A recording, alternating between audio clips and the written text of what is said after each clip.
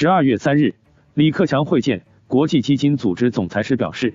中国将继续统筹疫情防控和经济社会发展，实施稳定的宏观政策，加强针对性和有效性，继续实施稳健的货币政策，保持流动性合理充裕。中国将适时降准，加大对实体经济，特别是中小微企业的支持力度。前面这段话的关键点就在于适时降准，这是继央行三季度货币政策执行报告后。又一个明确的货币政策放松信号，在三季度货币政策报告里，删除了坚决不搞大水漫灌、管好货币总闸门的表述，引起相当大的关注。因为根据历史经验，只要删掉这两个点，下一阶段信贷里面就会显著反弹。而此次降准信号的释放，应该说一直是在预料之内的，市场上也一直存在着降准的预期，但是信号出现的时间点，比很多人预想的。要延迟了许多。这里做个简单解释，降准就是降低银行存款准备金率。根据商业银行法，商业银行每吸收一定数量的存款，就需要在央行存放一定比例的存款准备金，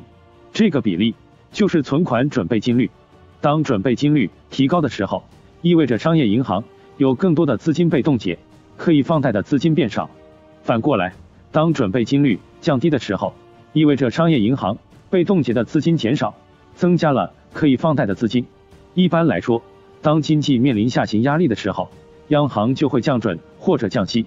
从以往的经验看，一般来说，当总理或者国常会提及降准降息之后，快则两天，慢则十天，政策就会兑现。所以，降准最快可能在本周日宣布，最慢则会在下周内。到时候，我们需要关注的是，降准是全面的还是定向的，幅度有多大？释放的资金有多少？回顾前几轮降准，自二零一八年以来，央行一共进行了十一次降准，总共释放长期资金约九万亿元。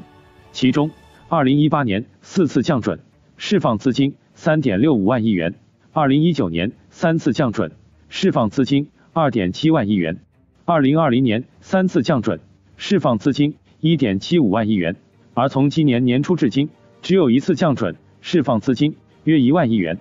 可以看出，二零二一年的降准是过去几年最少的。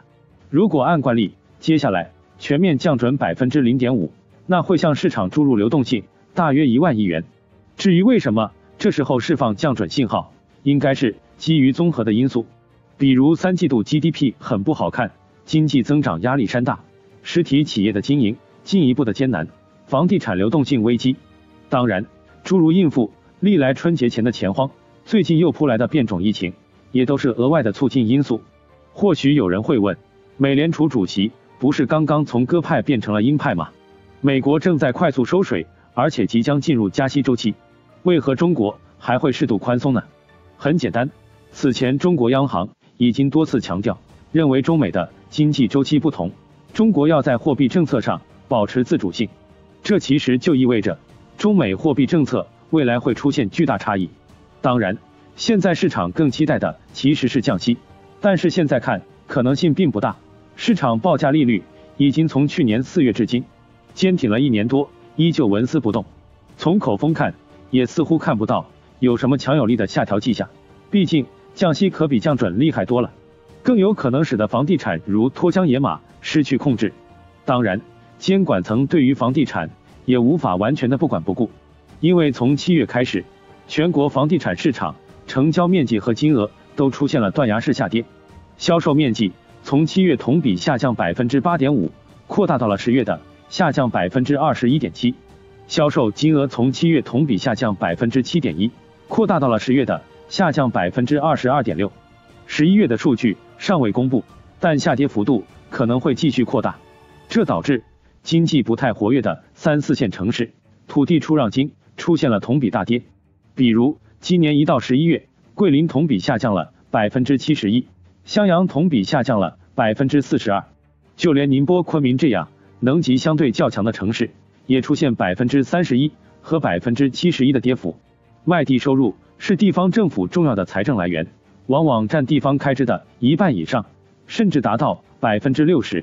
对于房地产而言，只要是向市场释放流动性，房地产就都会受益，不过是大小的问题。当然，对于一些出现问题的房企，就不要抱太大希望了。这些利好对于他们而言，并不能改变什么。也是在同一天，恒大对外公告，首次公开承认不确定是否拥有充足资金继续履行财务责任。这代表着恒大终于挺不住，迈向了实质性的违约。广东省政府也约谈许家印，同意向恒大派出工作组，督促推进企业风险处置工作，督促切实加强内控管理，维护正常经营。与此同时，央行也第一时间对恒大事件发表回应，认为恒大经营管理不善，盲目多元化扩张，最终导致风险爆发，并一致表示恒大问题属于个案风险。实际上，自恒大出事以来，市场一直在等待。恒大债务违约的时点，但之前几次许家印疑似变卖个人资产，在最后时点偿还了美元债利息，展现了惊人的求生欲。可实际上，在通过大幅降价快速回笼资金，以降低杠杆的策略被喊停后，恒大五个锅盖十个锅的游戏就已玩不下去，违约只是迟早的事。从这个意义上讲，恒大违约就是靴子落地，并没有超出市场预期。而恒大事件更大意义在于。处置问题房企的大幕拉开。作为第一大房地产开发商，恒大无论从规模、所有制性质都极具指标意义。其处理方案的选择、处理细节的含义都会被市场放大检视。首先，恒大的杠杆严重超出了底线。尽管高杠杆高周转是目前房地产开发的主流模式，但恒大杠杆程度之高、加杠杆手法之多，还是令人瞠目结舌的。尽管恒大在银行贷款，只有两千一百亿元，但其通过信托贷款就有约三千七百亿，上下游供应商欠款约五千八百亿，其他短期借款还有约八千亿，以及恒大财富高息揽储等手段，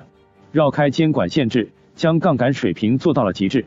再是盲目激进的多元化，这些年来，恒大多元化从来没有停过，也基本没有成功过。比如恒大冰泉、恒大粮油等。近年来，恒大转向造车。通过举债大肆并购，其手法之土豪，购买之疯狂，令人叹为观止。但到目前为止，五百多亿元砸下去，仍未造出一辆车来。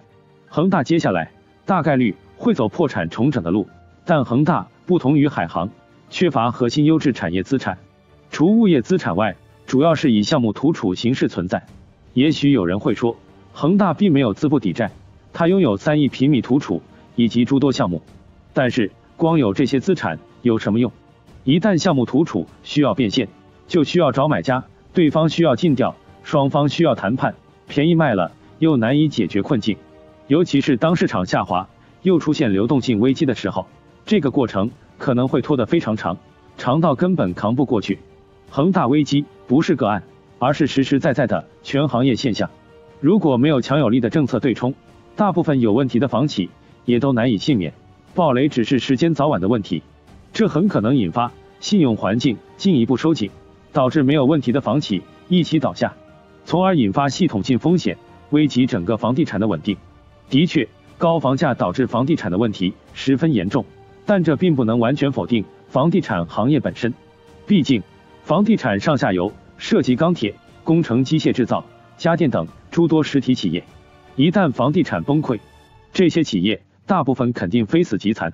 所以监管层处置恒大等房企风险事件，肯定会尽量避免用力过猛，把拆弹变成了引爆。当然，也不能因为恒大等有可能引发系统风险，就无原则、无底线的救助，否则就等于变相鼓励企业无脑加杠杆，赚了是自己的，赔了有政府兜底，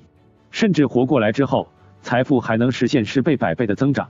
因此，过度扩大风险的人。必须按市场原则承担损失。作为企业领导者，许家印很可能变卖股权偿债，或者股权被大幅压缩，甚至清零出局。而其他原始股东也应该首先承担损失，包括卖股偿债，包括资本减记，其次是优先股次级债投资者，再次是银行等信用债投资者和财富投资者，然后是各种抵押贷款，之后是上下游供应链以及企业员工等。按照顺序不同。承担的损失程度也会不同。恒大危机也是一个很重要的启迪，很多购房者也存在同样的问题。过去的顺周期里，把大量的资金投入到房产，不但如此，而且拼命的高杠杆，把负债往死里做。这在高歌猛进的大周期没有大问题。但是在现在及未来，房地产的增值动能下降，锁仓周期变长，房地产税试点在即，如果还不能做好流动性管理，那么恒大的危机必然会在这些人身上再次上演。